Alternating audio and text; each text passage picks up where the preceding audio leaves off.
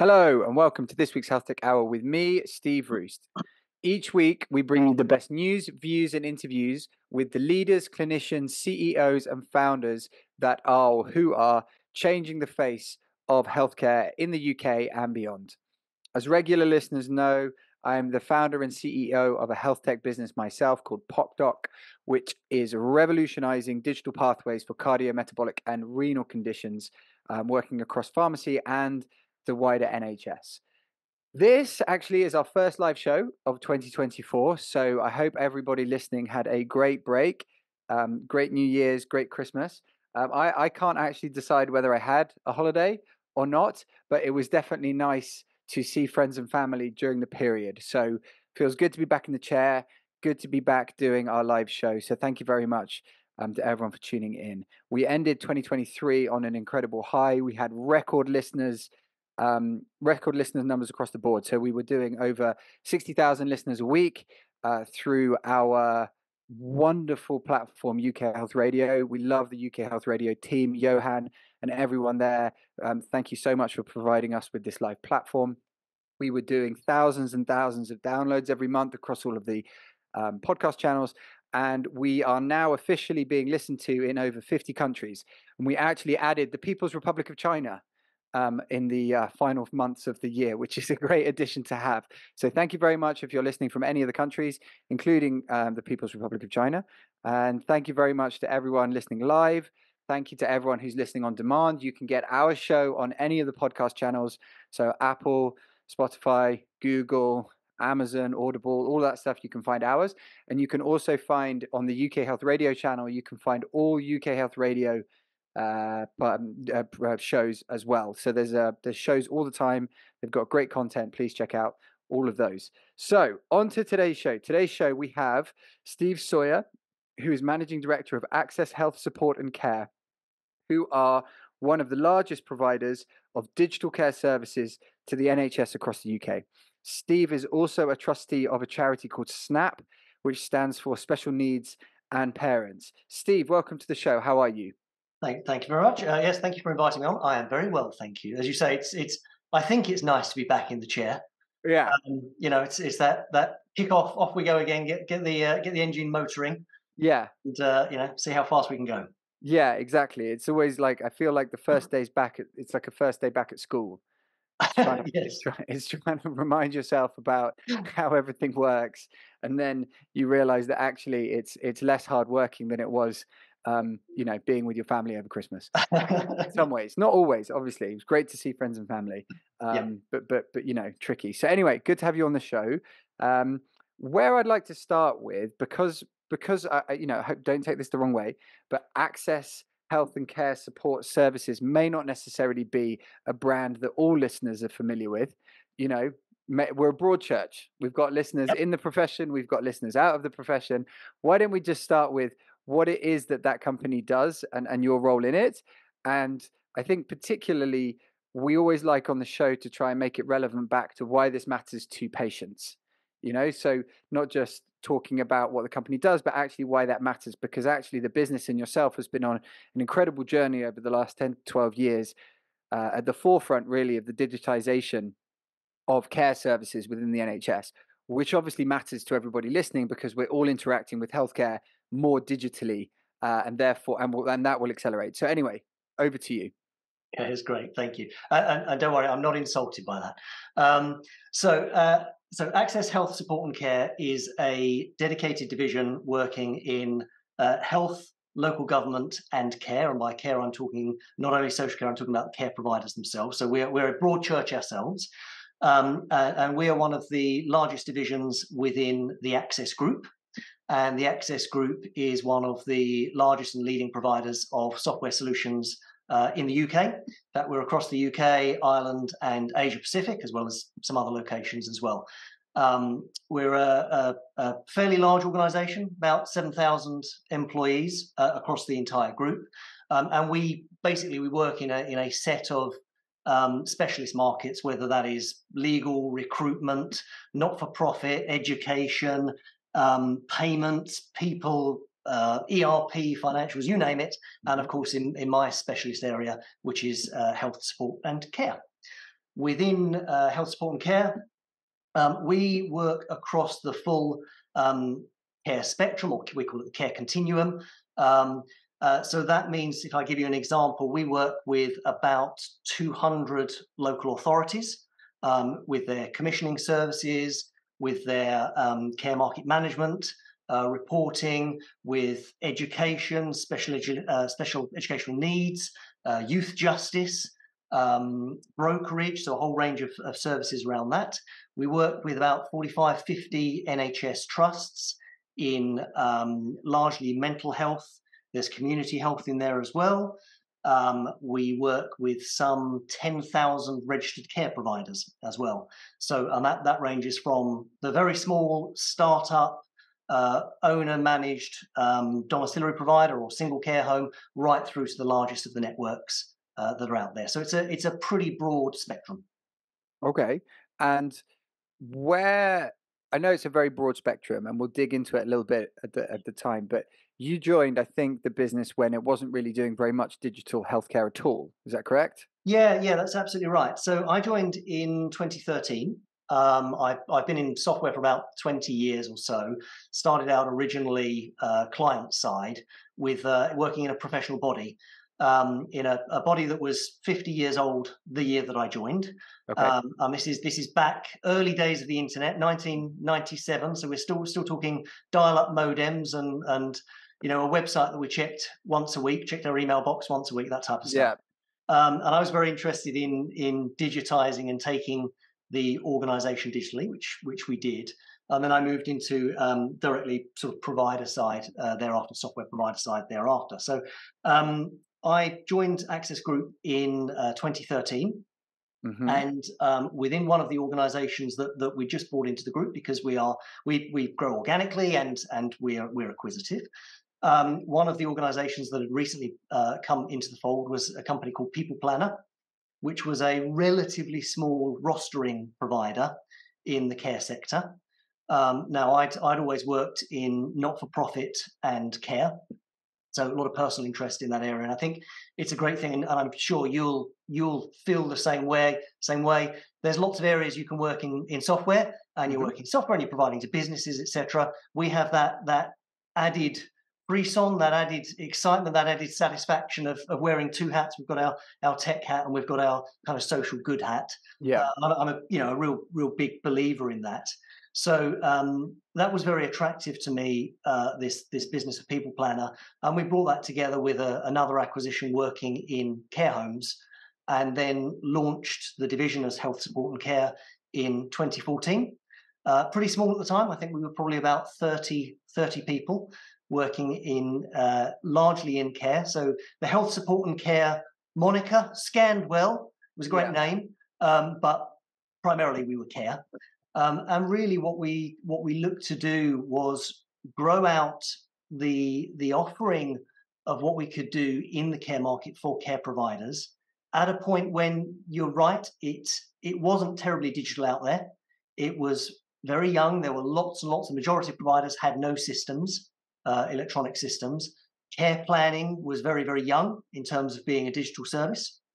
Um, and so we spent that period uh, running right through up until sort of 2020, growing out the offerings that we had within care um, so that we could provide a, a, fuller suite of solutions, really with the aim of, of making care providers' lives easier so they didn't have to worry so much about the administration, about the logistics, about the payroll, about the invoicing, about all of that sort of stuff, and could really focus on delivering care. Because at the end of the day, that's that's what you yeah. want to do if you work in the sector. So um, we grew that that element out from there, um, and then um, really sort of started moving across along the care continuum. And I've used that that phrase a couple of times, and I'll, and I'll use it some more because I think the some of the issues that we see, and, and these are well known, is it's it's a pretty disjointed sector, pretty disjointed community, mm. health and care. Um, you know, the fact that there is a dividing line, there's a health and and care. Yeah, why is there that? That's a great point. I've never thought too hard about that. Why is there? It, why is it health and care? I so they're, very, they're they're quite different things. You know, the delivery of care and the delivery of health are quite different things. They're funded in different ways. In lots of ways, care has been the poor cousin for a long time. Um, it hasn't received the same level of funding, the same level of focus. But in reality, I believe it is the the route to solving the cost and capacity crisis that we have. Because okay. actually, and I'm sure we'll get to this later on, actually, what we've got to do is look at saying, how do we stop people or how do we slow down the advancement of people entering into an acute setting, to a healthcare setting, a medical clinical setting? How do we do that? Well, mm. you know, we can do that in a in a cheaper setting, which is not health, uh, within within care, within the community, um, with third party, uh, third sector providers as well, for example. And then if somebody does go into that acute setting, into that health setting, that clinical setting, how quickly can they move out of there and not need readmission? So for you, is the so health for you is the clinical setting.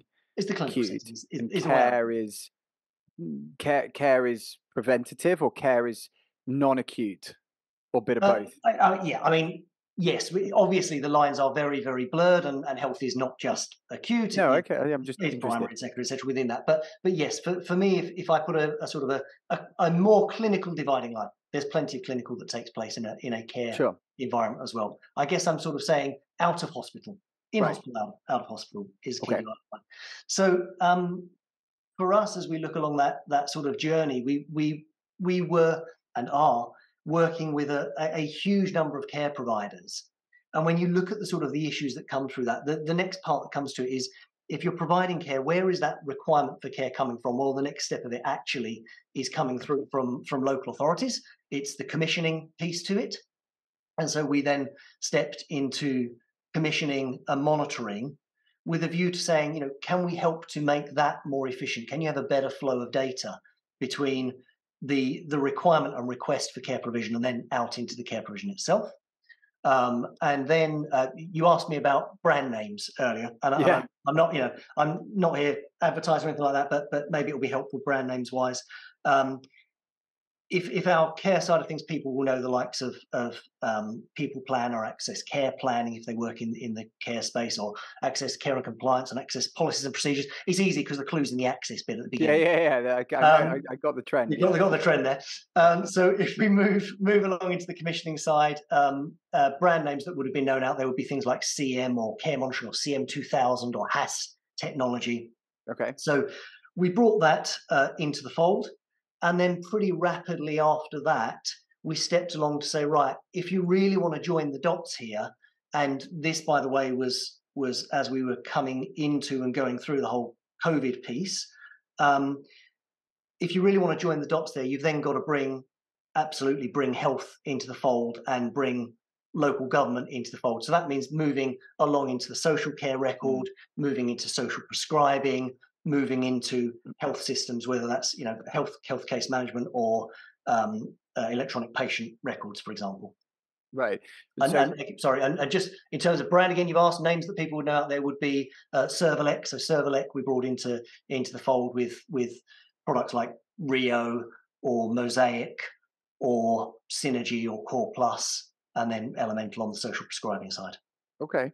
And so when we talk about care, or when you're talking about care, we're not talking about care homes, right? We're talking about the broadest sense of care across any type of spectrum, right? Just to clarify. Yeah, yeah, absolutely. The broad, broadest sense of that. And now a good deal of that is yes, it's in it's in care homes, or it's in home care, or right. it may well be straightforward uh, community-based services, which are not necessarily delivered by by care workers. These are often uh, volunteer-based services, charity-based services um, and we we particularly see that involved where where we provide social prescribing or where we're supporting organisations to provide social prescribing. I think that's got a really big role moving forwards. Well, let's talk, let's talk about social prescribing, seeing as you bring it up, because it's a bit of a buzzword and it probably gets kicked around a fair bit. And there might be some people listening who have heard about it either on the news or in different media outlets, and it, you know it, it, gets talked about a fair bit. Um, how would you define social prescribing? Oh, great, great, great question. Because I think social prescribing is now starting to expand out into a, a, a number of, of settings. So um, when I first came across social prescribing, it was very much that concept of. I'll give you an example. Let's say um, we've got a a um, middle-aged guy who's slightly overweight, who's drinking too much, smoking too much, socially isolated, hmm um, and they go to see their doctor because there's there's some health issues that are there. The reality is that with all those sort of social determinants, they're they're isolated, they're not perhaps looking after their own well-being so well. That's going to end up eventually in a in a health situation. hmm Well, social prescribing is a great route. Um, I'll, I'll give you a, sort of a use case here of a of a GP actually sitting down with, we'll call him John, and saying to John, you know what, John, we haven't got a problem right now, but you do need to reduce your your smoking. You do need to reduce your your drinking. You need to get out and exercise. You need to be seeing people. So what I'm going to do is I'm going to link you up. I'm going to use a link work. I'm going to put you in touch with local services that can support in that, and that might well be some form of social group. It might well be um, a a you know a, a, a charity that supports on smoking. It might well be um, financial ser- uh, uh, advice services. Let's say let's say there's there's a financial situation there, for example. It's a whole series of of um, interactions that can take place in the community to help John to look after himself better, to access resources that are out there. Um, now, historically, pre-digital, you will have somebody who's going to, you know, maybe maybe the doctor's going to hand to to John. Here's a list of some local charities. Yeah, or a leaflet or something. Or a leaflet, exactly. And the likelihood is John is not going to follow up on that. There is no follow up to it. There's no measure of success for it. There's no great register of services that's available out there. Um, it is unmeasurable, and, and therefore you don't get get the follow up to it. So um, what you've now got is is digital systems. We we provide one. There are others.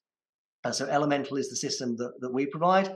And what that does is it effectively enables somebody from the GP to actually refer directly out to those services. And the important thing there is that is then picked up directly by that service who can contact John, encourage him to get involved, and actually help him to take control of his own well-being. And, that, and that's the important thing, actually, is that sort of self-activation piece to Right. it.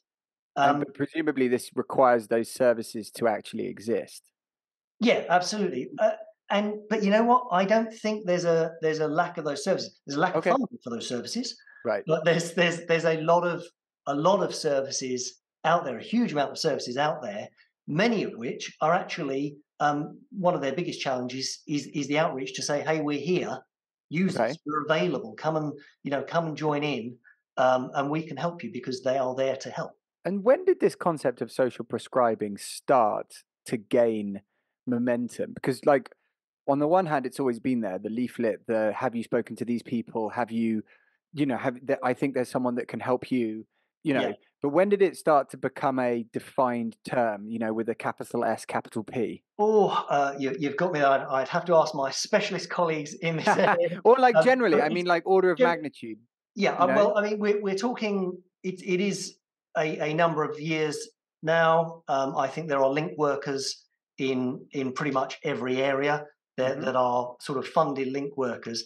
The challenge really is is their capacity to deal with everybody that they need to deal with. So Yeah, right. Like it's sort of like because because the thing that the, the about the NHS is a little. Have you have you heard of the story about um? This might be apocryphal, by the way. Yeah. Um, in which case I apologize, but um, do you remember when those burger chains were popping up? The uh, the you know the the Shake Shacks and the Five Guys and the all this type of stuff. McDonald's was coming under a huge amount of pressure because the quality, the relative quality was enormous. The, the gap was huge, and they were like, "Why can't McDonald's do organic burgers? And why can't McDonald's do this?" And the the CEO of McDonald's got up and was like, "Look, if we make a single change to our menu." We have to make that across all of our restaurants in any given country, which means it's not just a question of being able to, you know, make a few hundred organic burgers. We need to figure out how to make organic burgers for millions of millions of people. Otherwise, we can't make the change.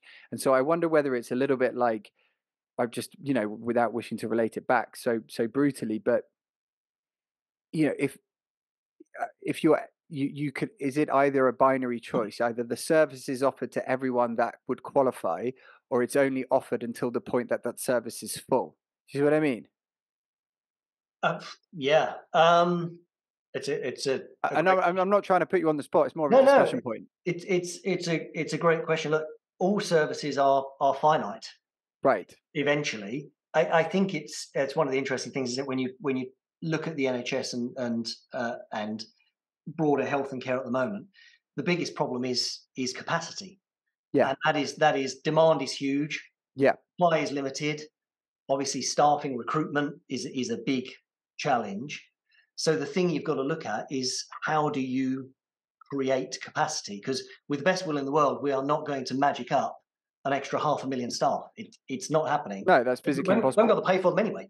They're, they're not there, and we and we can't pay them. So uh, that's not the answer. So it is about ways of creating capacity or ways of deferring, delaying that higher level of need and reducing that. Yeah, I think it's a, so social prescribing, as I understood it, was, and I'm sure there's evidence. I, I sort of understand it, you know, anecdotally. I haven't actually looked into the clinical evidence, but that I, from what I understand, the kind of view is that it's more effective, or as effective, if not more effective, than potentially, I don't know, putting someone on statins, or you know, or or it can be done alongside it to make it more um, effective, or whatever. It's it's like a there's there's clinical evidence to suggest that actually a a non pharmaceutical intervention is effective in certain circumstances, which makes total sense as long as those services exist. Yeah. Basically. Yeah, no, no. So you're absolutely right. I think there's there's there's two parts to it. I, I, said there that when I first came across it, it was it was sort of on the the preventative side.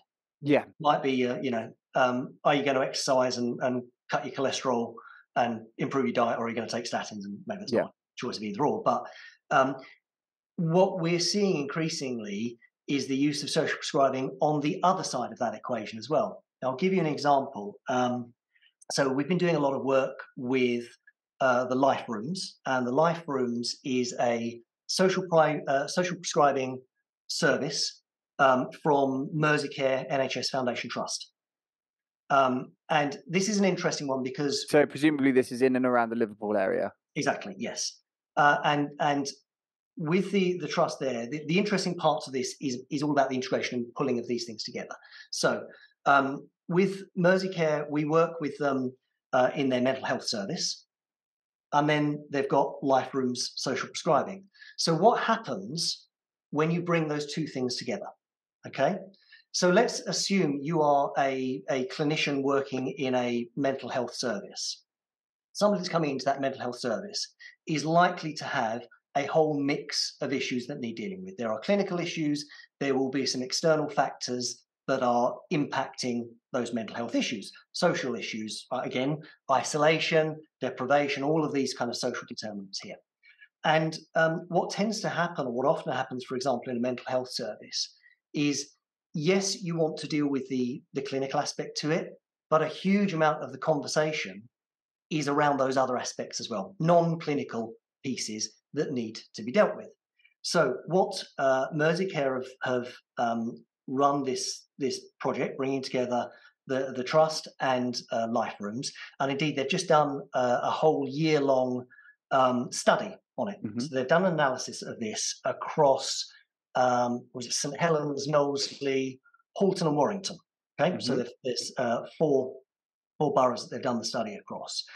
And what they're really doing there is having the clinical conversation, in the clinical setting, and then they are able directly via system, so digitally, to refer that individual out to the other community-based services, voluntary services, etc. So the social side of it is handled in the right place in a non-clinical setting. Now, they did that previously, as many would do, but it would have been done in an analog way. It will have been phoning round, it will have been recommending services, etc. Yeah. Um, and interestingly, what they've what they've seen through the analysis, um, uh, this will be a study that we published in due course, what they've seen through the analysis is clinicians themselves are citing savings of one to three hours per patient of wow, time saved.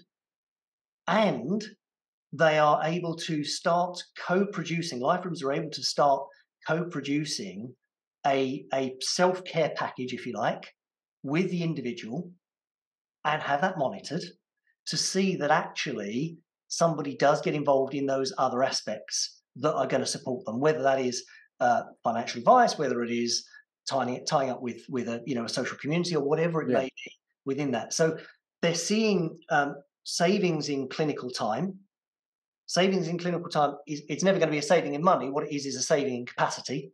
That's three hours that could be spent with other people. Yeah. So we're creating capacity in that way.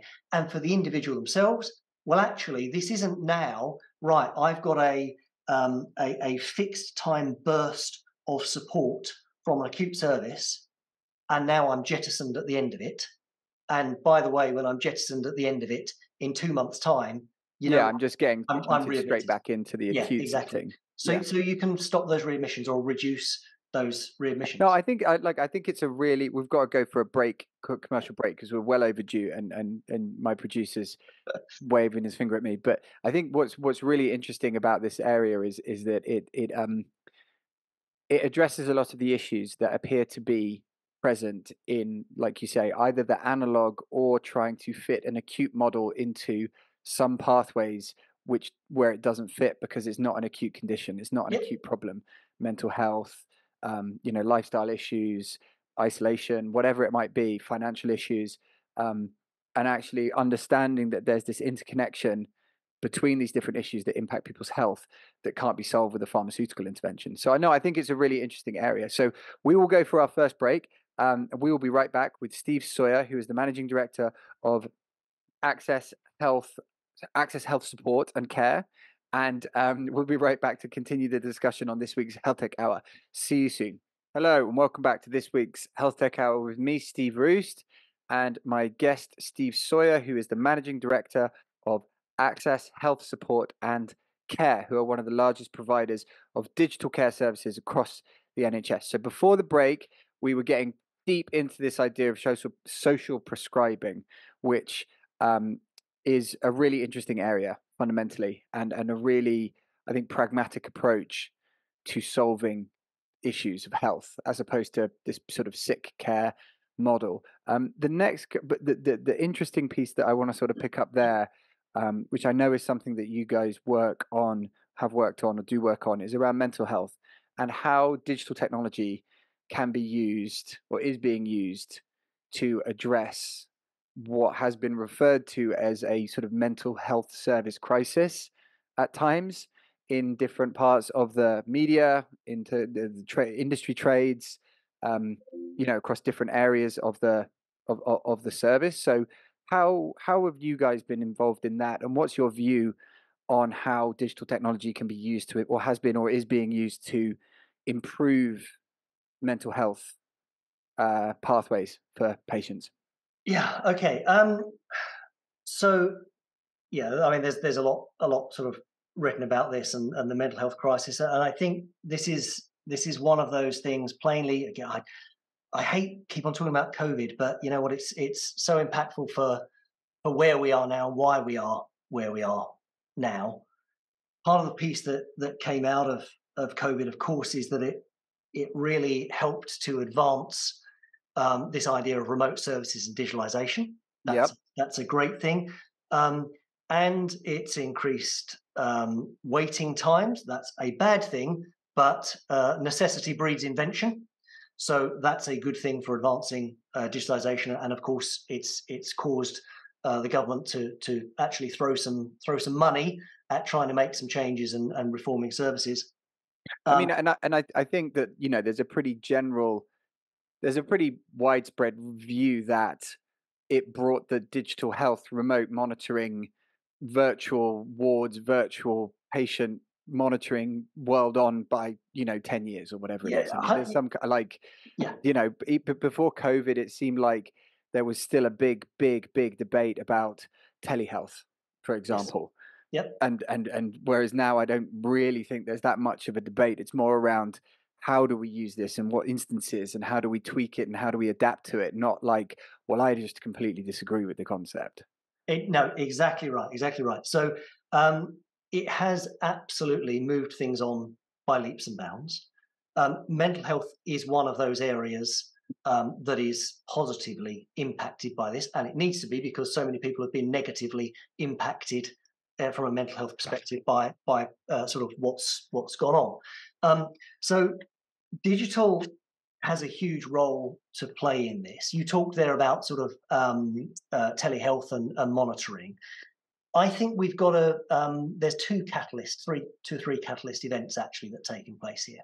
One of them was that realization that that you can do more digitally, you can do more with remote monitoring, that sort of piece. That's that's that's a big one, and that is driven both um, in terms of general care delivery, pre-health delivery, and then your virtual ward situation. Hmm. Um, and then the the other tie into it, of course, is going to be the uh, analog to digital switchover. So there's a there's a, a, a simple logistical, it's not simple in any way, um, logistical change there, which is by end of 2025, analog is you know analog's getting turned off, Right. and most of things like your social alarms that are out there um, were analog. So all Wait, of what? this- ju- Hold up, hold up a second. What analog services are getting switched off? I'm not sure I know what you mean. so your analog telephone services Oh, okay. are getting okay. turned off. It's, it's all going digital, hence Openreach vans being all over the place, switching Right, over gotcha. over your telephone lines. And um, the important point to that, the important factor there, is that most social alarms that were out there in the world, out there in the UK, um, run on the analog network. Yeah, we're, we're talking about the um We're talking about buttons, buttons and Buttons. boxes and pull cords. Yeah. pull cords. Okay. Now there are millions of them out there. Yeah. And they are a pretty rudimentary way of supporting somebody. Yeah. Mhm. Um, now, you've got a combination of factors going on here. We've got the analog to digital switchover. If we're going digital, it means you can do a lot more than just a button and box. hmm Come to that one in a second.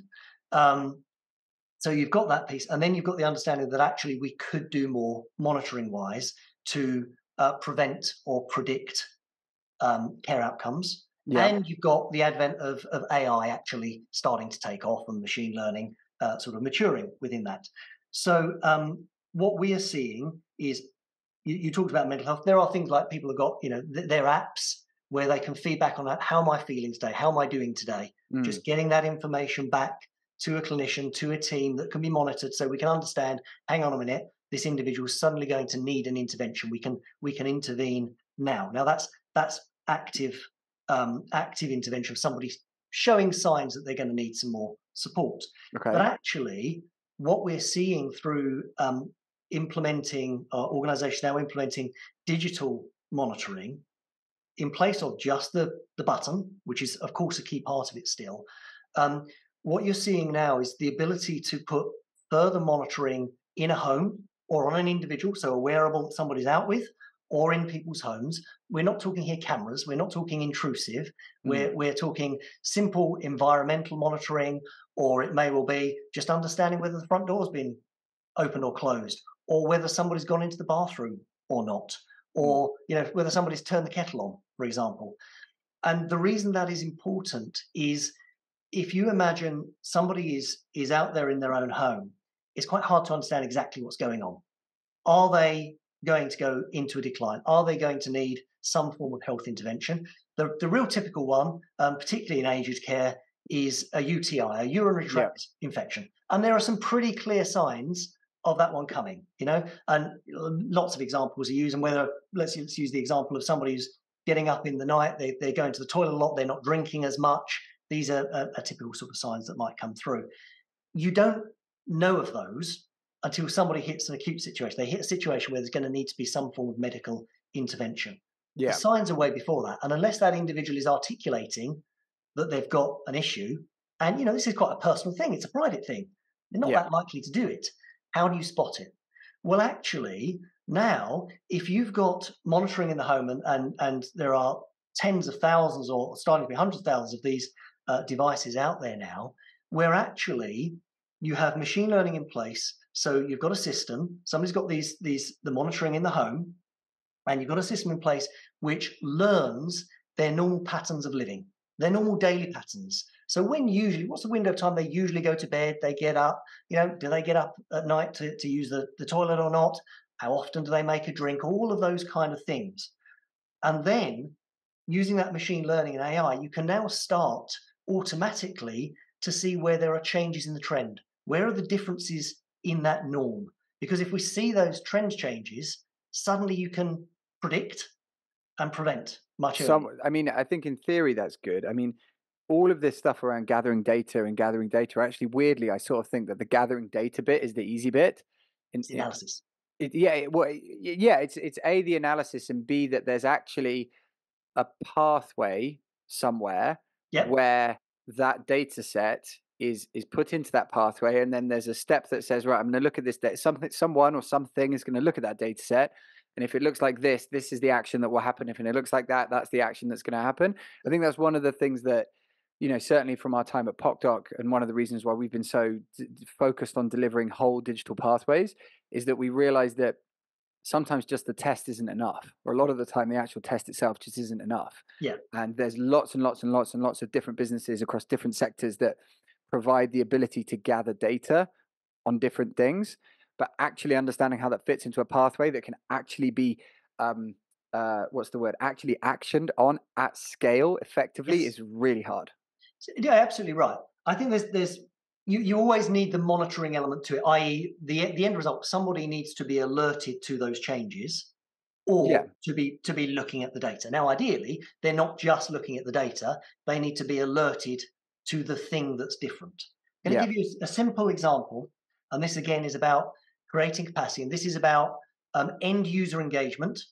So, family members, that that wider support network, engaging in somebody's uh, health and well-being. yeah So, for example, um, we've got facilities whereby if somebody's got this monitoring in the home, uh, I can have on my app, my personal mobile, as Yeah. son of somebody that has this, I can put on there um, for the system to alert me with things that comfort me and things that concern me.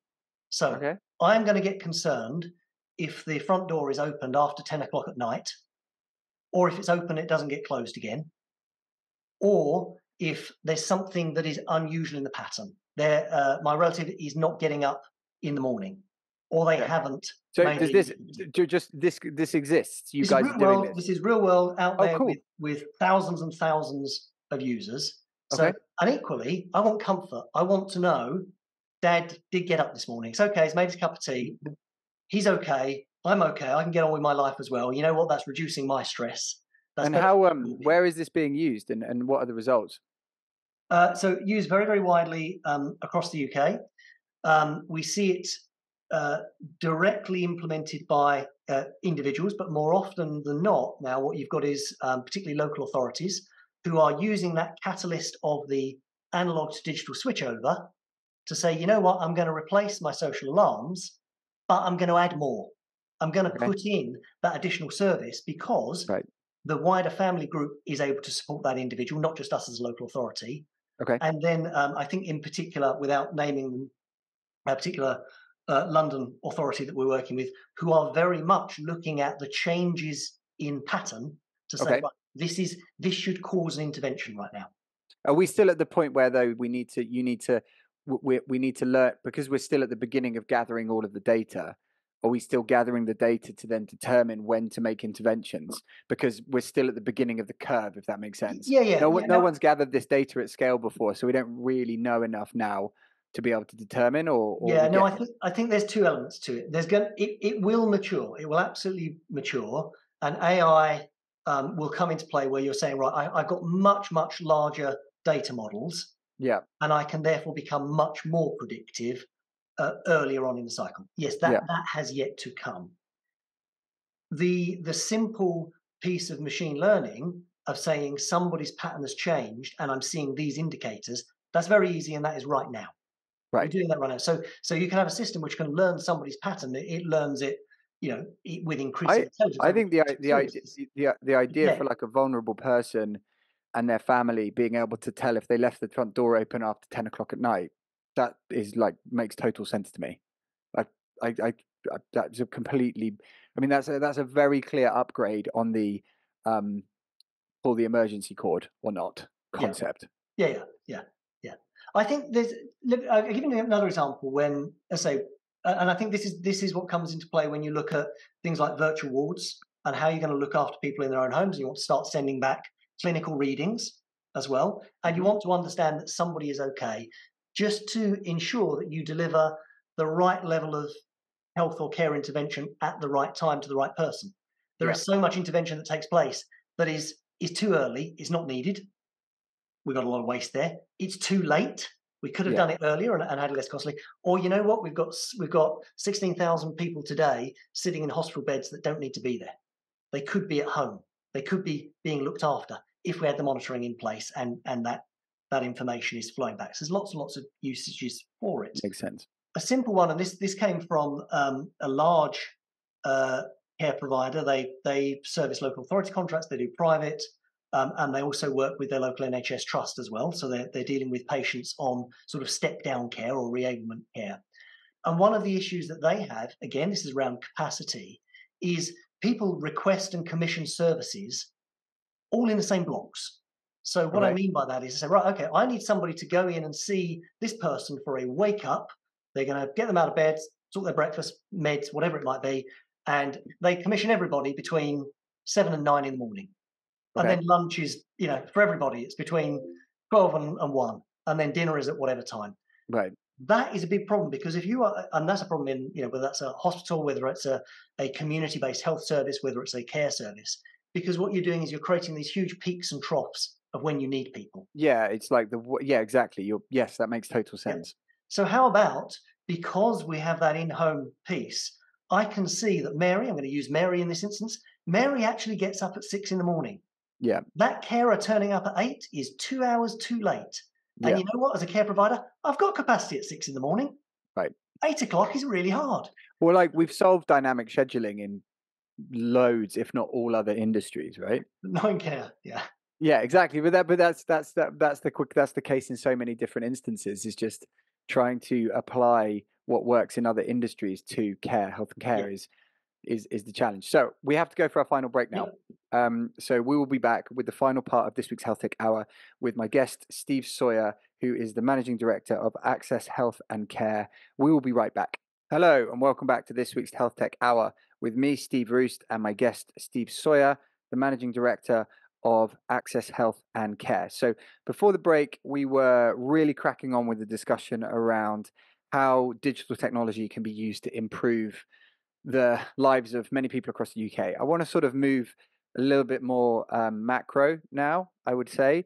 And what's your view around the, you know, the the the discrepancy between the sort of view that's perpetrated in the media around the NHS in perpetual crisis versus the huge and probably unprecedented amount of innovation, growth, excitement, new ideas, new visions, new ways of doing things that is happening on the ground within the NHS. So, how, how do you reconcile both those things, and what, what's your view on that?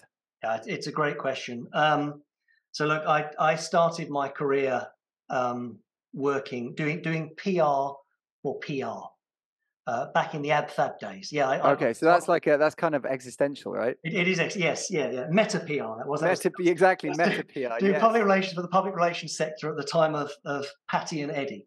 Okay, Um, and uh, so I, I had a somewhat um, baptism of fire and, let, let- dare I say, slightly jaded view of the media hmm um, and of, of the press, press in particular. I shouldn't say that, they won't like me now, but anyway. Um, I think, look, um, sensationalism, bad news stories, um, all of those things uh, gain attention, sell papers, get clicks right. um, the reality is that that's not really what it's like on the ground. Yes, of course, there's some of that. Yes, there's there's struggles and all the rest of it. What do we see? Uh, what do I see? Um, I have never seen the, the the level of innovation that we see going on right now.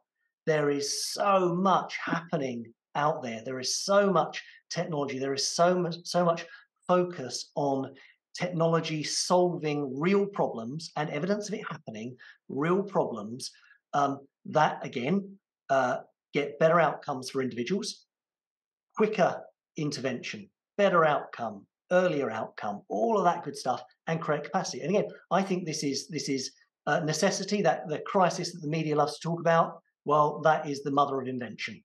Um, Right. and what we see is is invention everywhere. I'm looking at businesses all the time with invention, and indeed, we've got a, a whole roster of um, of partner organisations that we work with who have got you know wonderfully inventive tools out there that solve um, sometimes big problems, sometimes very niche problems. but either way, they're they're problems that need solving and, and have an impact on people's lives.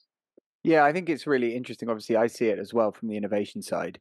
And, you know, we work across the country with a number of NHS trusts and organizations from community through to, you know, larger areas. And there's there's a massive, massive delta between and I'm not saying what's perpetrated what what's in the media is wrong, because obviously there's a lot of statistics that are, I presume, true, although I've not fact checked them myself around backlogs and you know different things. I, I I would assume that that stuff is is sort of empirically true, but it's also empirically true that there's more effort than ever, I suspect, going into solving the issues.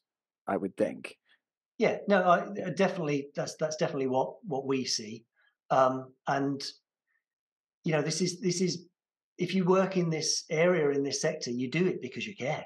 You do it because yeah. you, you know it has I real agree. meaning, um, and so the level of passion and expertise um, is is amazing. It really is amazing. So that's that's what makes it a very exciting area to be in. It's exciting technology, solving real problems, making millions of people's lives better. And that's you know, that's why I do it. Do so, yeah, I can't speak for others. So let's um, let's talk a little bit about your charity work. So what is what is Snap? Uh, yeah, sure. So um, yeah, I'm uh, proud to to recently become a trustee of Snap Special Needs and Parents. Um, it is a charity which um, serves community in Essex. Um, and uh, I've been involved with them for about 10 years and seen the work that they do uh, firsthand. And um, SNAP really provides support to, to parents, to, to families, to, to carers of children aged 0 to 25 okay. Um, who have some form of, of uh, disability or, or special need within that. And really, the focus of Snap, where it's perhaps different to some, is it's very much about supporting the whole family, supporting, you know, the, the clues in the title and parents at mm. the end of it. So, supporting parents to help them get the information they need, uh, gain the resilience that they need, uh, know where to find the services that they need, because it's it's a pretty hard and, and emotional place to work. So, um, Snap, as I say, is is uh, in its 30th anniversary year.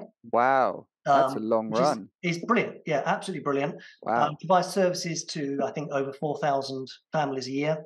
Wow. Um, so it's a it's great reach within that within a you know a, a, uh, within the county. Um, and it ranges from library services, helplines, and you know some of the things that come in are, are, are truly heartbreaking. People in crisis that just need guidance, help. They need to know where to go. So is that is, is it a form of social prescribing, or is it not really?